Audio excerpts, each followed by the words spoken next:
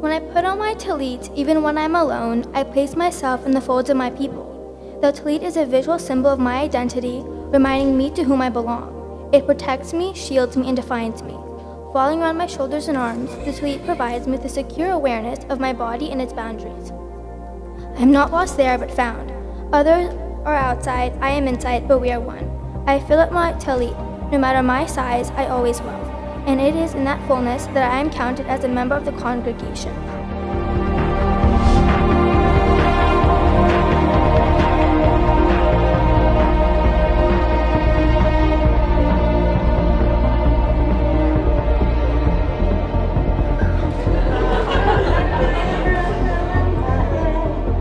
So today is finally here. Elliana will soon become a bat mitzvah. But the importance of this derives not so much from what she's going to do here in the next hour or so. No. Its relevance comes from the past and it comes from the future. The past, the dedication, the courage, the maturity that she has displayed to get herself ready for this moment, and the future, the questions she will answer every day for the rest of her life. Now that I am an adult in the Jewish world, what will I do with that privilege? What will I do with that responsibility?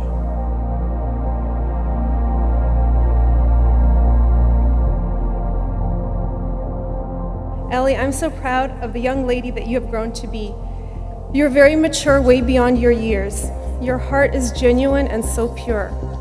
You are sensitive but strong. You are sympathetic and empathetic. You connect with people on such a deep emotional level.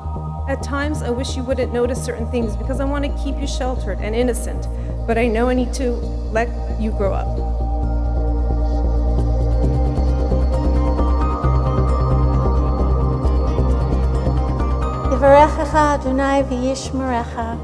May God bless you and protect you. Ya'er Adonai panav. May the light of God's presence shine upon you and be gracious to you. Yisa Adonai panav elecha lecha shalom. May the presence of God lift you up and grant you a lifetime of fulfillment, contentment, wholeness,